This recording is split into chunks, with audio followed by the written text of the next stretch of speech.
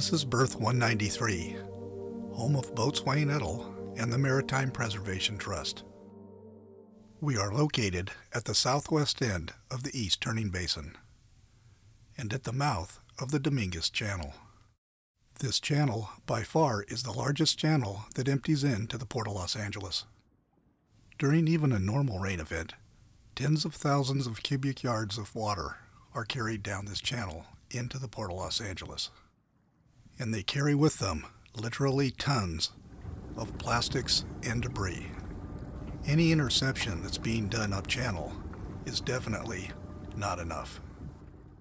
As the debris is carried through the port, it finds its way under the piers and around the marinas and docks. As lovers of the sea, the waters we sail on and the waters we swim in, this is incredibly disheartening.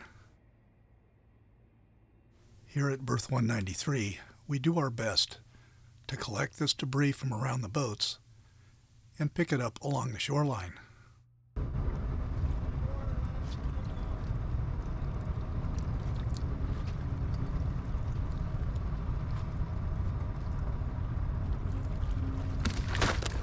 But it is an endless and overwhelming task.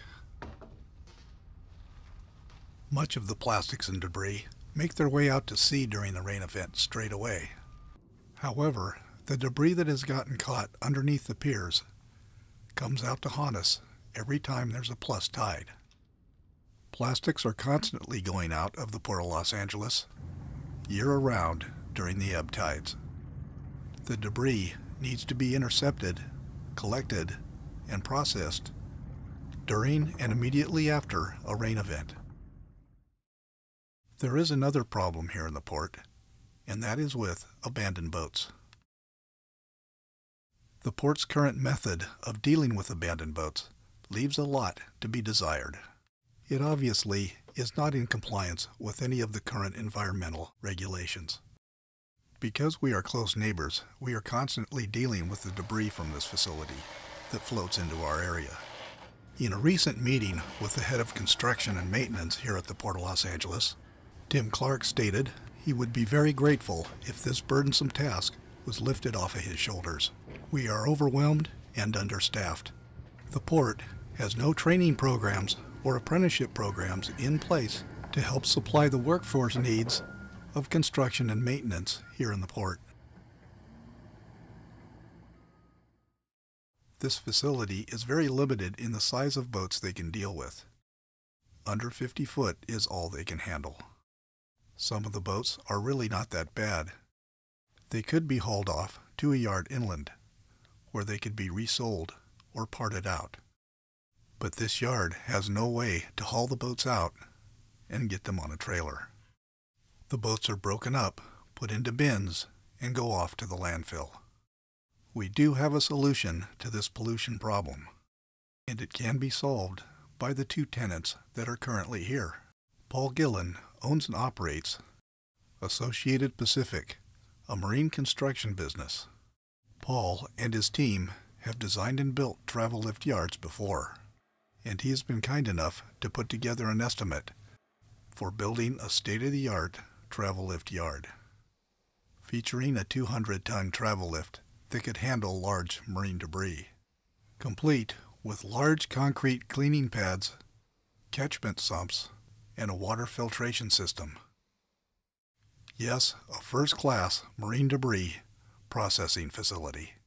We here at the Maritime Preservation Trust have a well-trained team that can disassemble, salvage, and recycle these classic watercraft.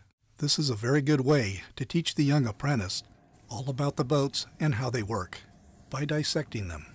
This facility could create over a hundred jobs and bring a whole new generation into the marine repair and maintenance sector of the port. The yard would be managed and operated by the Maritime Preservation Trust. We are a well-established 501c3 nonprofit organization dedicated to the preservation of our maritime heritage and the education of youth of all ages into the maritime professions. We have many members that are qualified and willing to make this endeavor an incredible success. Stormwater debris that would be gathered by booms and nets could be hoisted onto the pad, where it would drain and dry and then be separated into the appropriate recycling bins. Boats that aren't that bad could be put on trailers and hauled off to an auction yard. Other boats could be properly salvaged and then run through chippers that separate the dust for recycling. This yard would also be available to haul out port boats, the training ships, and research vessels. It would be a training facility for marine maintenance and repair. It would be a very noble use of this land and this water space that would benefit the maritime community, the local community, and the environment. Because the two tenants here are long-term tenants of the port, this project could and should be fast-tracked. There are grant funds available from NOAA specifically for marine debris interception and the handling and disposal of large marine debris. Currently, there are plans of putting a slag cement processing plant here, featuring open piles of slag, a grinding machine, a firing kiln, and equipment to load slag cement into trucks. This processing plant is not water dependent and would be better placed inland in an arid environment where it would pose no threat to the marine environment or the local community. This project would only add to the pollution in this area, and it would deny our maritime community this great opportunity to protect the oceans we love.